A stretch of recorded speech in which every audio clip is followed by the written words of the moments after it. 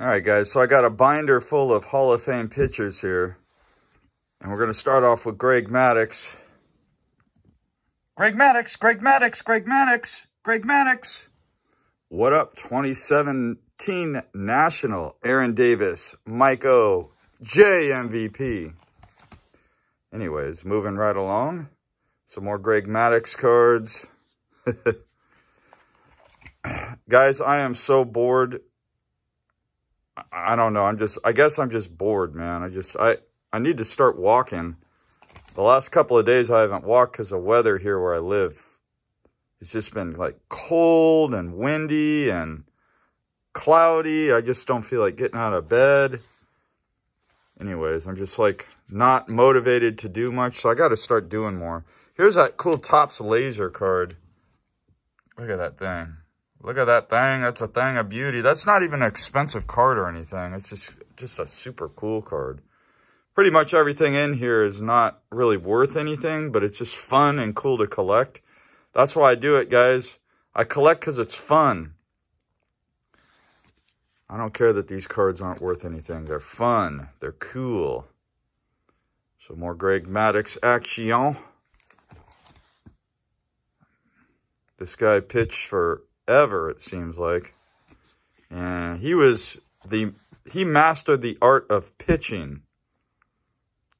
I wonder how Greg Maddux would do nowadays that the umpires are kind of being graded with the strike zone because I think back in the day, the umpires gave him a lot of wiggle room. He usually had the advantage.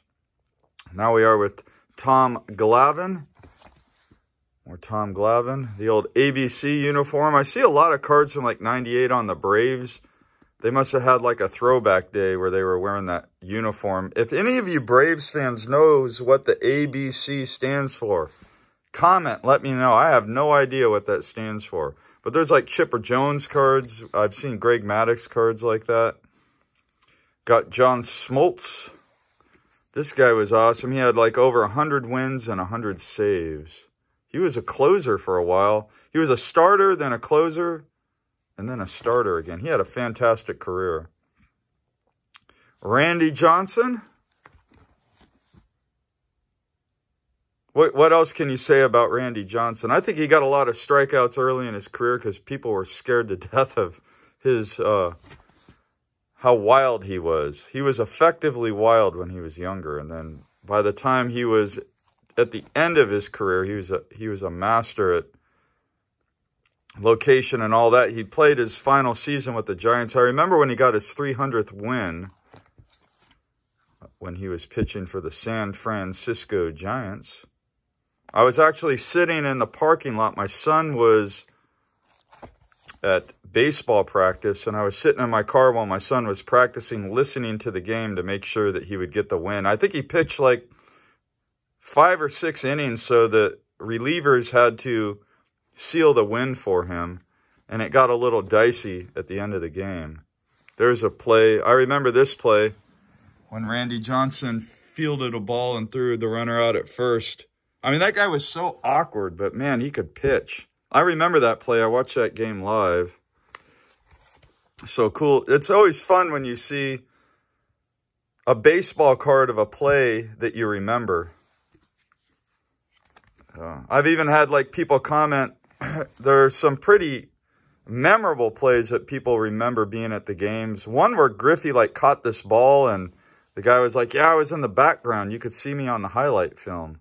I forget who that was. I don't know if he's still making videos. If you are, comment and say that was me with the Griffey highlight. But anyways, we got Roy Halladay and Juan Marichal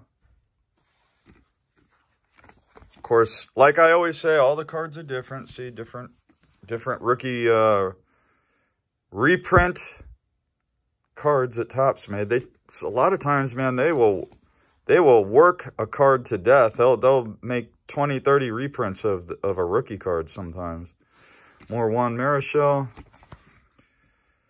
Ah, that guy was so awesome. Look at that high leg kick. Classic. Bert Blyleven for the win recent inductee to the Hall of Fame. We got Tom Seaver. And then Early Wynn with a little bit more Tom Seaver on the toppage. So you guys know I like to uh, get full pages of cards. Try to kind of keep it somewhat organized. I'm more like, how do the, the cards look together?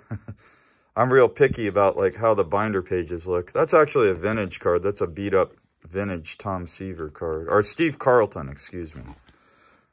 So I like to put my beat up vintage and some of my inserts, like that's a refractor there of uh, Mike Mussina. Oh, yeah, Bob Gibson for the win. Man, that guy was so awesome. Again, you see a few vintage ones in there. Whoops, skip the page. More Bob Gibson. Guys, if you ever get a chance, read the back of his rookie card. Very interesting fact on the back of his rookie card. Here we go with uh, Warren Spahn and uh, Gaylord Perry. More Warren Spahn. And Sandy Koufax. Koufax, man, when he was in his prime, and it didn't last very long, but when he was in his prime, he, he sure was dominant. See, here's like another example. We got three of the 53 Topps Satchel Paiges. That's a 53 Topps look, but they're all different. Satch in the house. Now, who do we have here? We got Whitey Ford.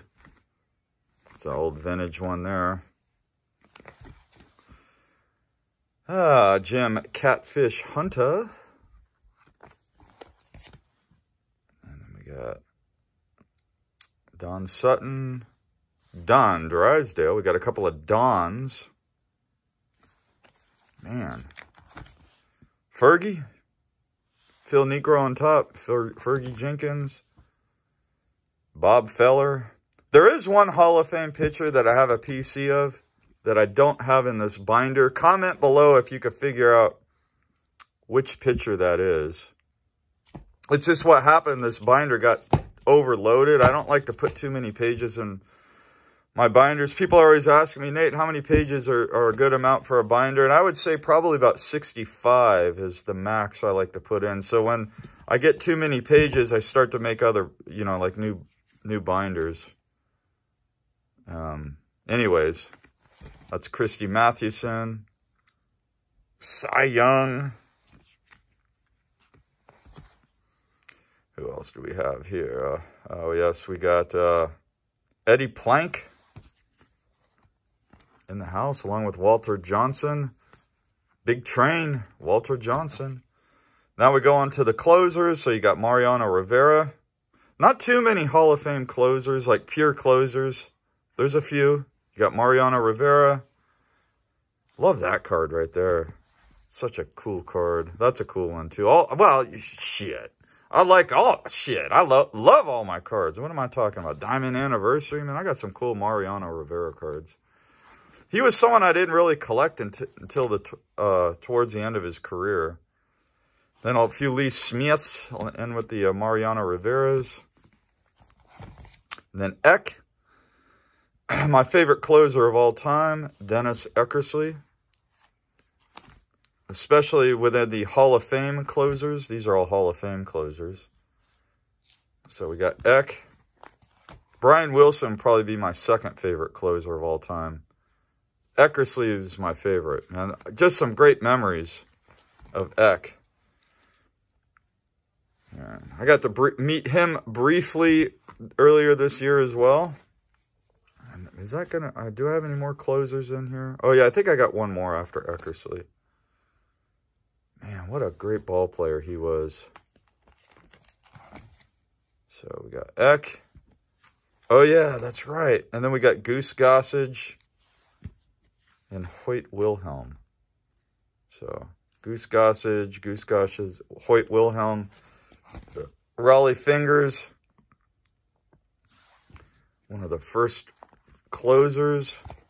Well, Hoyt Wilhelm, I guess, would be the, the first closer. And then Trevor Hoffman. So those are my Hall of Fame pitchers in this binder. Comment down below if you could guess who I'm missing. All right, guys. Thanks so much for tuning in. And as always, until next time, happy collecting.